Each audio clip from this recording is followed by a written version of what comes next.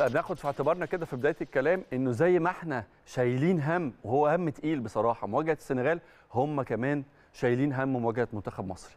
وزي ما قلت لحضراتكم إنه منتخب السنغال منتخب من العيار التقيل منتخب عنده عناصر على أعلى مستوى برضه بقول إن هم باصين لنا نفس النظرة وشايلين همنا وشايفين ان المنتخب المصري منافس قوي جدا ليهم وإن التذكرة لم تحسم بعد. الكلام والحقيقة يمكن برضه دي حاجة بشوفها تصب في مصلحتنا إن المواجهة الأولى في القاهرة.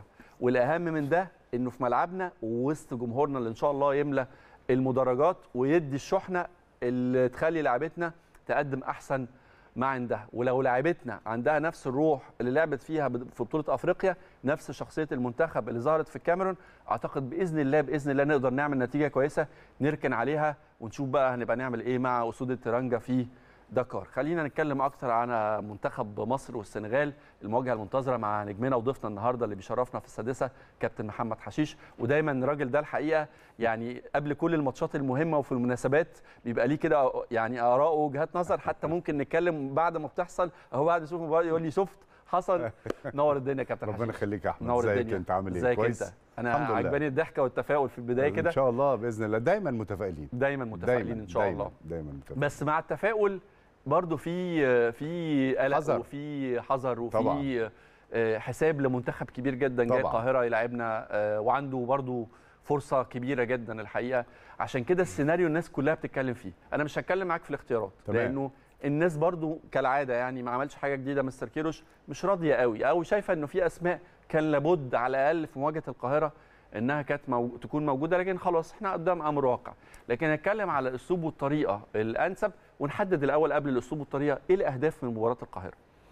بص إحنا عايزين نتفق إن ما فيش حد دايما بيتفق على رأي واحد. تمام. يعني ايا كانت الاختيارات اللي مش عايزين نتكلم فيها ونخوض فيها لأن ما فيش وقت للانتقاد بس دلوقتي. في في في حاجات كانت ظاهرة قوي يا كابتن حسن طبعا أنا معاك كان في حاجات ظاهرة في وكان في, حاجات ناس كتير قوي كان ممكن صحيح. تصنع الفارق صحيح. يعني. بس بنقول يعني الوقت ده مش بتاع متفق الكلام معاك. إن تمام. إحنا يعني خلاص إحنا بنتكلم النهارده آه. الثلاث أربع خميس الماتش يوم الجمعة مظبوط فكل الدعم وكل الحماس وكل طبعاً، الكلام طبعًا. الكويس لازم نقوله في ال- الفترة دي. نعدي المباراتين وبعد كده هو هو مش مش شك في إمكانيات الأسماء اللي, اخت... اللي تم اختيارها بالعكس إحنا واثقين إحنا فيهم بنقول أفضل. بالظبط كده. ممكن كان يساعد في آه، حاجة. ورقة اتنين طبعاً. ممكن تحتاجهم في وقت من الأوقات حسب سيناريو المباراة.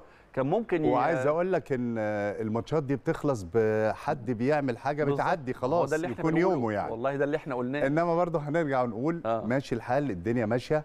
عايز أقول إن الدوافع للفرقتين واحدة. آه، السنغال لو هنتكلم عليها في البداية فريق كبير مليان يمكن أكتر الفرق في إفريقيا مليانة محترفين في أحسن الأندية الأوروبية. آه، أهم بطولة عندهم هي البطولة اللي بتؤهل للمونديال لأن ده حلم الناس كلها. أسعارهم بتزيد بصعودهم أو باشتراكهم في المونديال بيتشافوا طبعا على أعلى مستوى. بتزود قيمتهم في الاختيارات بعد كده بالنسبة للأفضل لعيبة سواء على مستوى الفرق بتاعتهم أو على مستوى الدوريات اللي بيلعبوا فيها.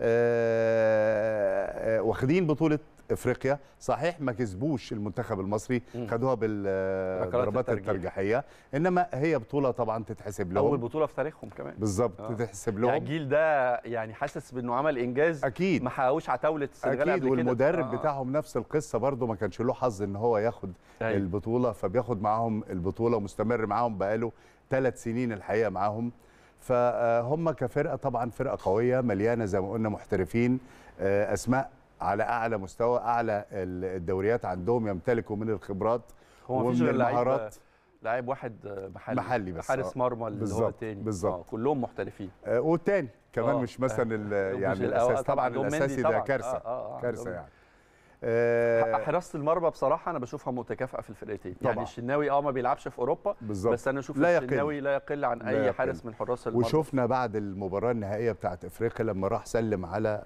أيوة. آه، أبو جبل وقبل كده الشنا يعني هو أيوة. عارف إن في آه، حراس مرمى حراس. مرمى على مستوى عالي لو جينا للمنتخب الشناوي وأبو جبل يعني عليهم دور مهم جدا طبعاً، في. المواجهتين الجون دلوقتي يا أحمد زي ما بنقول بالبلدي كده نص آه، الفرقة أيوة، يعني لما تكون أنت بتلعب وراك جون خبرات وجون قوي بتبقى واخد الثقة وخصوصا بالذات ال defense نفسه مم. يعني المدافعين لما يبقى وراهم جون آه، بيطلع في الكور العالية وطبعا عنده ارتفاعات أيوه. آه، زي الشناوي أو أبو جبل ايا كان اللي هيلعب. آه، دي بتدي ثقة طبعا لل defense والفرقة كلها. لو هنتكلم طبعا على آه، منتخب مصر آه، طب معلش كملي السنغال السنغال جاية عايزة إيه؟